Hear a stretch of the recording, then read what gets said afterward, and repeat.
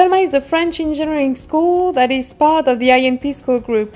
Every year, it welcomes many students attracted by its high level academic and research structures. Located in Grenoble, at the foot of the mountains, its proximity to many other schools provide a unique environment for its students.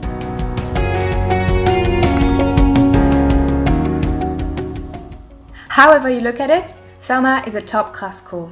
First, from an academic point of view, Phelma offers very good quality lessons since most teachers are also researchers in renowned laboratories in Grenoble. Thus, they offer their expertise in the world of work in addition to their pedagogy. We get to experiment a lot at Phelma as well. We have so many practicals to help us really understand the content of the courses.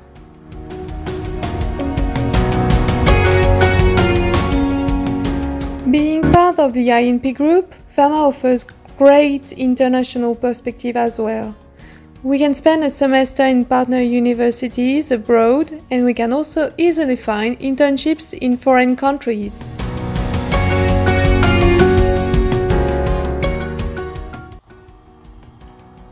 Grenoble is host to a great number of innovative companies with which Phelma has many links. We get many opportunities with them, like projects, internships. For example, I took part in a research project in partnership with the Biology Institute of Grenoble.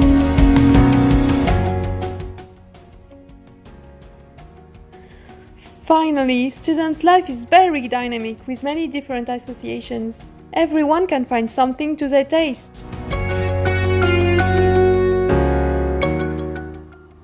We did a very cool first year project. We were a team of four and in partnership with the teachers of a primary school, we designed and gave an introductory course on robotics to kids from 6 to 11 years old. As a guiding thread for the course, we built and programmed a robotic arm that could play and always win at tic-tac-toe against someone. We learned so much about the control of stepping servomotors and about the programming of winning strategies for games.